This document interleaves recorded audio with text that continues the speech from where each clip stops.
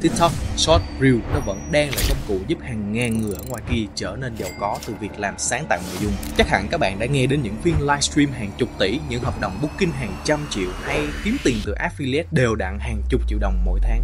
Có thể nói đây là cái thời đại của creator economy khi mà quy mô của ngành này có thể ước tính đạt 300 tỷ đô vào năm 2026. Uhm, những con số nghe thật là hấp dẫn đúng không? Nhưng có một tin vui và một tin buồn mình muốn nói cho các bạn. Tin buồn đó là đây, không phải là ngành nghề phù hợp với đại đa số mọi người.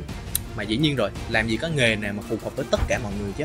Bên cạnh đó là cái nghề này cũng còn có khá là nhiều định kiến vì nó còn rất là mới mẻ. Nhưng mà tin vui là chính vì cái sự mới mẻ đó mà bất cứ ai cũng có cơ hội để thử. Nếu như bạn xác định được điểm giao thoa giữa ba thứ là thứ bạn giỏi, thứ bạn thích và thứ đó có ích cho xã hội, và bạn biến những cái trải nghiệm của bạn trở thành một cái video thu hút, thì bạn hoàn toàn có thể kiếm được tiền từ ngành này. Ví dụ như bản thân mình trước đây mình là một người làm video editor thì có thể coi như là mình giỏi edit và mình cũng thích ăn uống. Và cái việc giới thiệu địa điểm ăn uống nó cũng giúp cho nhiều người có thể biết đến những cái quán ăn hay ho, cũng như là giúp cho những cái nhà hàng, quán ăn có được thêm những cái lượng khách rõ ràng là nó có ích cho xã hội, cho nên mình đã làm một cái kênh review food và cũng may mắn có được khoảng 50.000 lượt theo dõi trên mạng xã hội. Đồng thời, mình cũng nhận được booking và nó biến trở thành cái nghề tay trái của mình. Bây giờ quay trở lại với cái nghề tay phải. Với kinh nghiệm edit video khoảng 3 năm thì mình lại có thêm một cái sở thích mới, đó là chia sẻ cái cách làm video social làm sao cho hiệu quả. Và mình thấy những cái chia sẻ đó sẽ rất là có ích đối với cộng đồng làm sáng tạo nội dung nên mình đã làm một cái kênh chia sẻ về mẹo edit để giúp cho video thú vị hơn. Hiện tại thì mình cũng đã có hàng trăm ngàn lượt theo dõi ở trên mạng xã hội.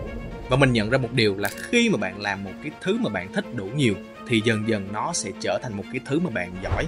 Với bản thân mình thì từ việc chia sẻ online ở trên mạng xã hội, mình đã có cơ hội chia sẻ trực tiếp tại nhiều trường đại học khác nhau về việc làm sao để có được một video social hiệu quả cũng như là giúp cho hơn 5.000 bạn làm sáng tạo nội dung ở rất là nhiều ngành nghề khác nhau có thể edit một video chỉnh chu và rất nhiều bạn trong số đó đã đạt hàng chục ngàn view, hàng trăm ngàn view, thậm chí là triệu view. Và mình khẳng định rằng các bạn không nhất thiết là phải nhảy nhót tấu hề hay là drama mà các bạn chỉ cần xác định được đâu là thứ bạn giỏi, thứ bạn thích và thứ đó có ích cho xã hội là bạn có thể bắt đầu với công việc sáng tạo nội dung.